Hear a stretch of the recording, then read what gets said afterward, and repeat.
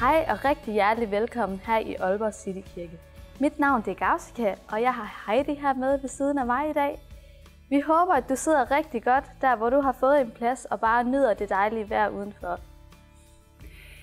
Kunne du tænke dig at vide mere om, hvem vi er som kirke, så gå ind på vores hjemmeside aalborgcitykirke.dk. Du kan også tjekke vores informationer på en nyhedsmail, som du kan få, hvis du tilmelder dig via responskortet. Der er også Facebook. Her kan du gå ind og like, og hvis du gør det, så kommer du til at følge nyhedsstrømmen derinde også. Er du endnu ikke kommet i en gruppe endnu, så kan du stadig nå at sætte et kryds i vores responskort. Så vil vi finde den perfekte gruppe, der passer til dig.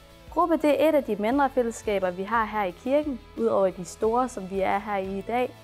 Øhm, hvor vi mødes cirka 12-7-12 personer, hedder det, i private hjem og bare deler liv og tro. Gruppe det er et rigtig godt sted at være. Så tænk over det og sæt et kryds i responskortet, så vil vi finde en gruppe til dig.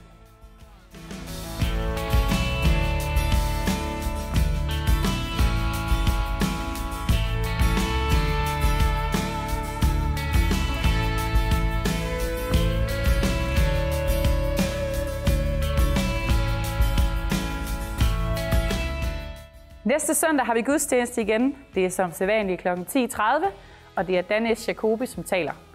Der er menighedsmøde lige efter gudstjenesten her, så bliv, hvis du er en af kirkens medlemmer. Umiddelbart efter kirkens gudstjenesten her slutter, så starter vi menighedsmødet.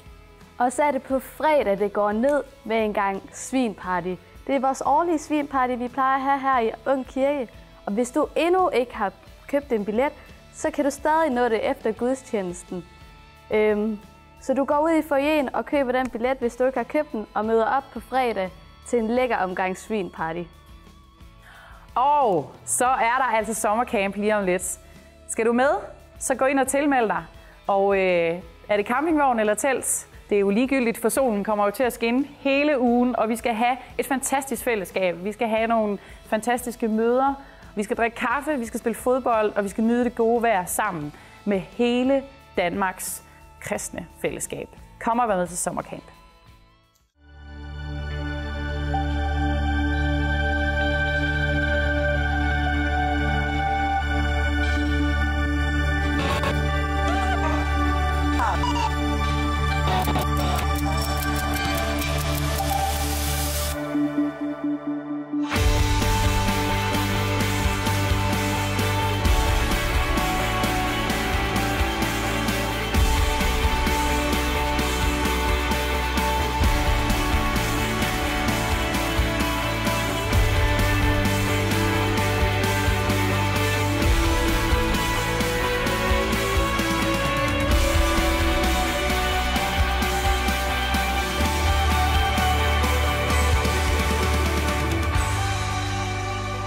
På ferie med formål.